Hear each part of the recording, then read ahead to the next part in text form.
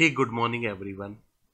My name is Vipin Kumar and I am back with another video how to install and configure the Tomcat on Linux machine with PowerShell DSC service. In this video, we are going to create a PowerShell script to install and configure the Tomcat on server on Ubuntu machine.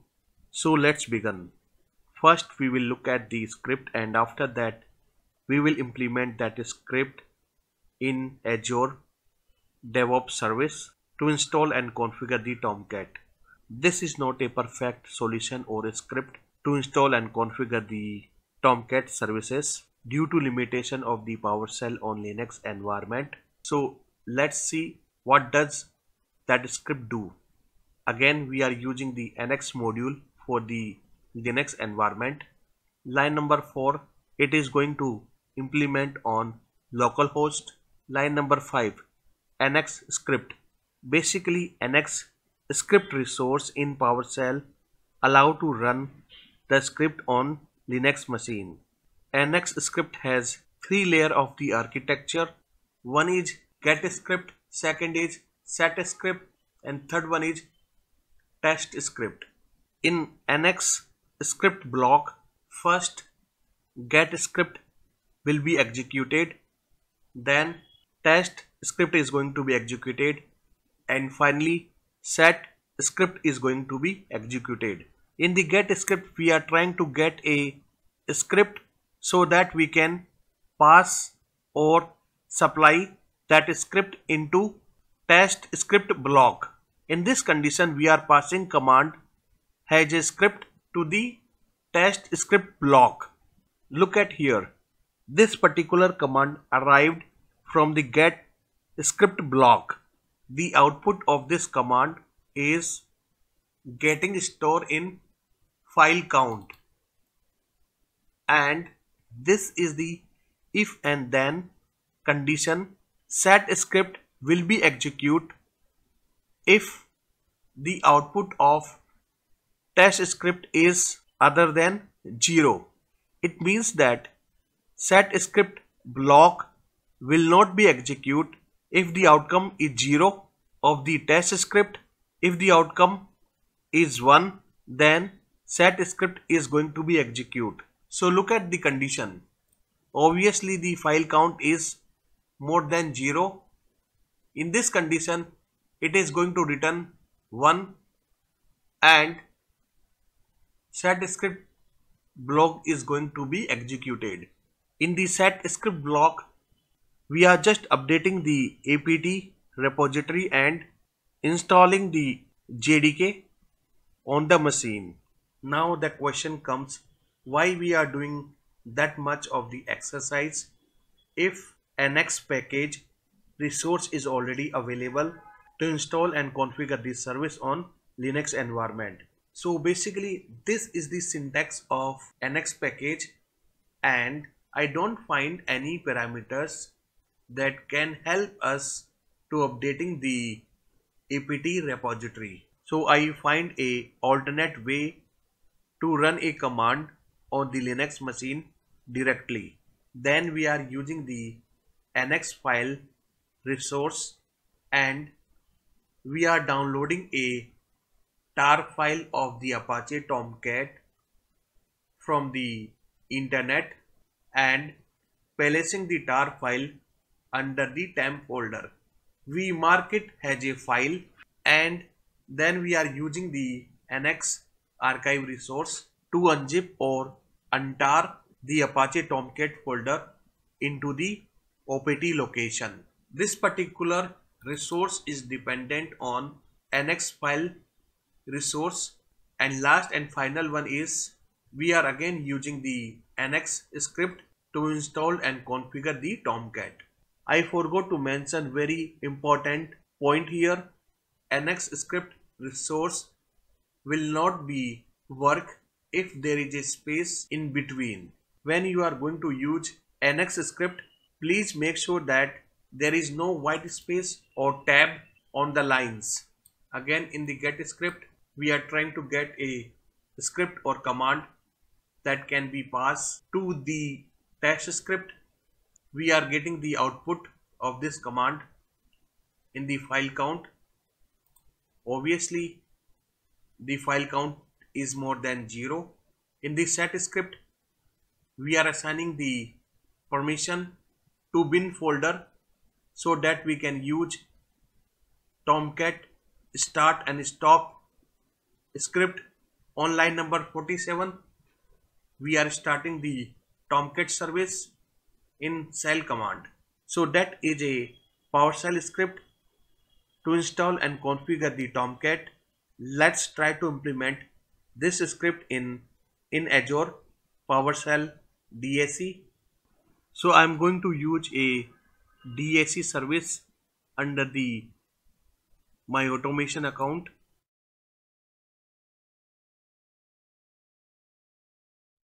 I'm adding the node.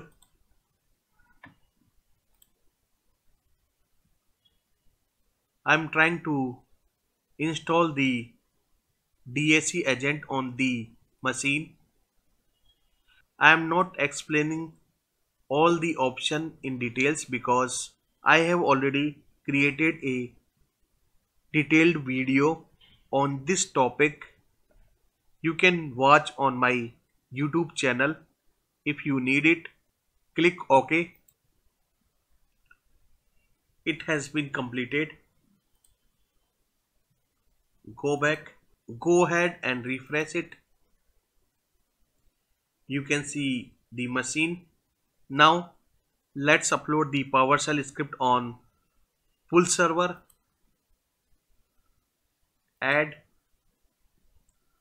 and select the script location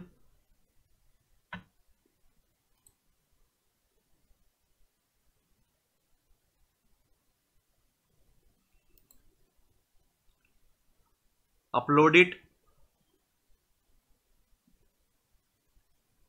you can see message here uploaded completed go ahead and click ok refresh it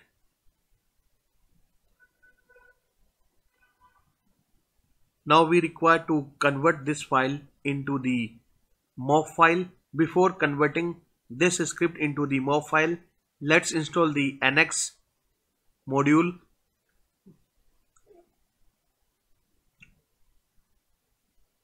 Go to module gallery.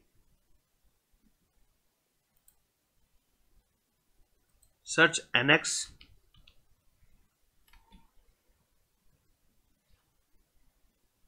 click on it and click on import. Click on ok. Import successfully. Let's go back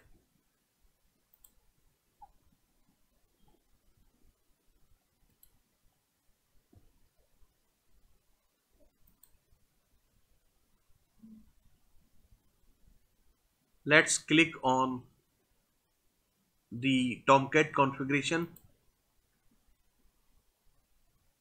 and click on compile it so that it can convert it into the MOF file.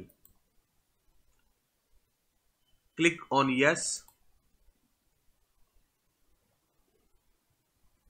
The process in queued.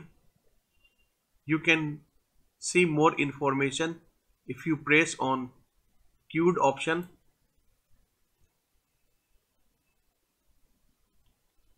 Let's wait to be completed. Compilation has been completed click on the node on which you want to assign the compiled MOF file and click on assign node configuration click on the MOF file and click on OK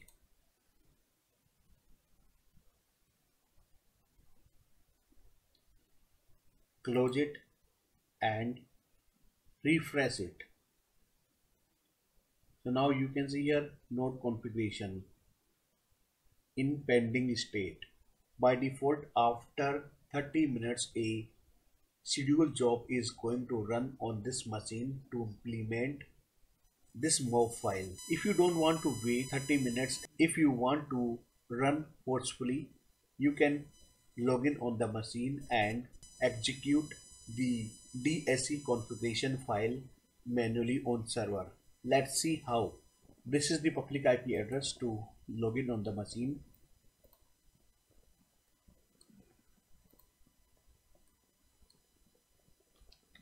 I am connected on the machine. This is the command to run the perform required configuration check.python file and if you run it manually it is going to pull down the MOF file from the Azure pull server and execute on the machine. Let's try to execute now. It may take several minutes to complete. If you now watch your Azure DevOps portal, you will see a status in progress. Okay, it has been completed, but it is showing that MI result failed. Completed processing test operation. The operation return false. Basically, this is not an error message. If you remember that there was a test function that is returning the exit code 1 or false. Hence, the Microsoft Azure DSC service understood a failure of the script. Finally, our script has been executed successfully. We can try to access the Tomcat page on the browser. Before doing that, let's open the port 8080 on this machine so that we can access the Tomcat sample page on port 8080 okay I'm adding the inbound port. It is already selected port 8080 click on add. It is creating security rules. Okay it has been completed. Let's try to access the Tomcat page on the public IP address. Great Tomcat successfully installed and configured we can access the sample page on our browser. But if you look at the Azure portal even after successful the execution the Azure portal showing the failure I have explained already that it is not a technically failure but a logically failure of the script. I don't find a alternate way how to get out from this problem. I am still trying to fixing it. If you find a alternate way, please let me know. That's all in this video. Thanks for watching. Have a nice day. Bye.